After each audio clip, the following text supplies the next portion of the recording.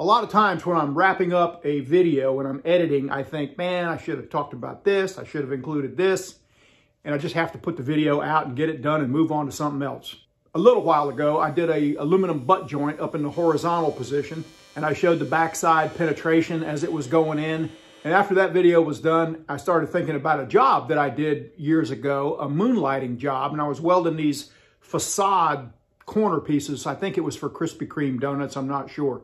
But it was a big rolled 90 degree piece, almost like a gutter, ornamental, but, it, but the weld needed to be sanded off into a nice sharp point. And so the most important thing on those joints was a full penetration weld. Like if you didn't punch it through really good and you sanded off the outside, you hardly got anything holding it together. It's probably gonna crack from expansion and contracting in the sunlight. Sometimes the most important thing is full penetration.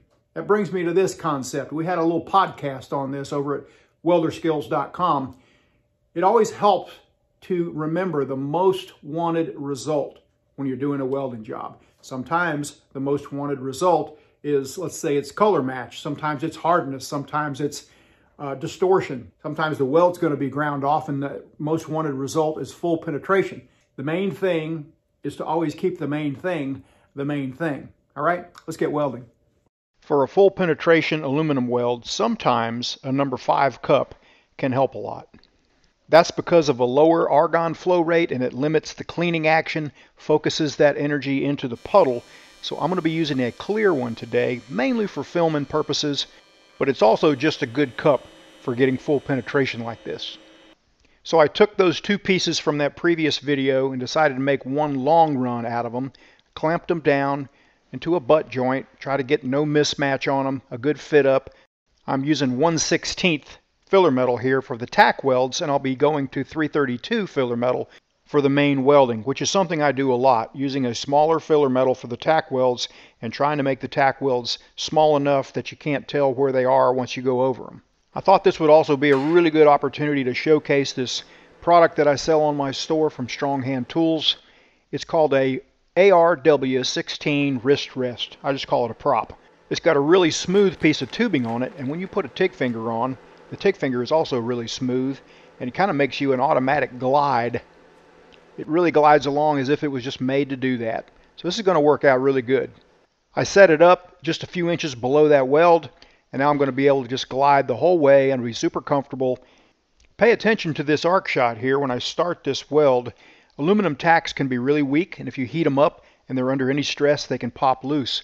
So I'm starting about a half inch inboard I'm going to go ahead and get a really small tack there, just a little drop of filler metal or two, and then back right into that first tack and weld, and it should all consume and get full penetration all the way into that tack and you, where you really can't tell what happened. Another thing to notice is I'm not stepping out very far in between dabs of filler metal.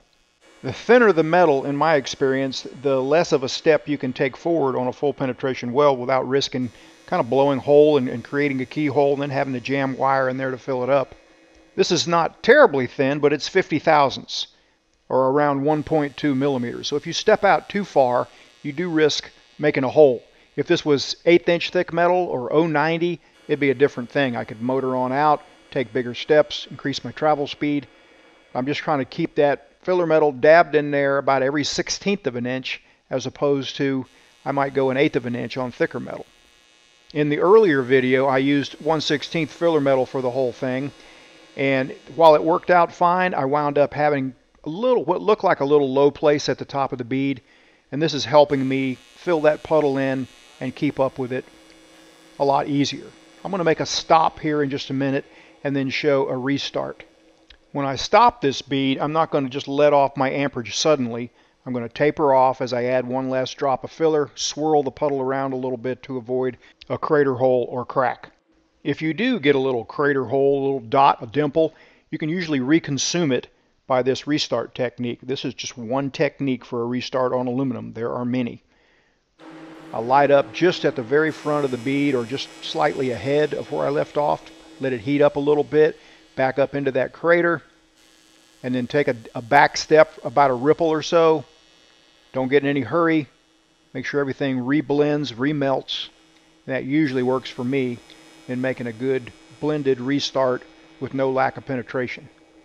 You will be able to see that little area where I restarted in a few seconds here, and you'll see what I'm talking about. I'm just carrying this bead on. You can notice I've got a good between a 16th and an eighth of an inch of cleaning action going outside the toes of the weld, the edges of the bead. Again, I'm only stepping out about a 16th of an inch at a time. As far as torch angle goes, I'm only leaning the torch back 5 to 10 degrees and I'm pointing it upward a little bit. I find that helpful on a horizontal joint like this. A slightward upward angle helps push that argon shielding gas up since it's heavier than air. If you angle it down, sometimes you can create a little venturi and your argon is heavier than air anyway. It wants to go down anyway. It just helps me to point it upward a little bit. It's not a huge deal. You can point it straight in. It definitely works that way too. I want to tie in completely to that end tack, all the while keeping in mind what if this weld needed to be ground off on the front side. I got a full penetration weld, but isn't it strange how those tacks look different in that area? I used this Prime Weld 325X today, 120 hertz on the AC frequency, and my AC balance was set on about 30% cleaning I set it to 43 amps, went full pedal for 050 material 1.2 millimeter. All the rest of the details are listed right here. You can pause the video right here if you're interested in seeing everything. Hey, I support these videos with my online store at weldmonger.com. If you're interested in any of the things I used in this video, I would very much appreciate you visiting my store at weldmonger.com.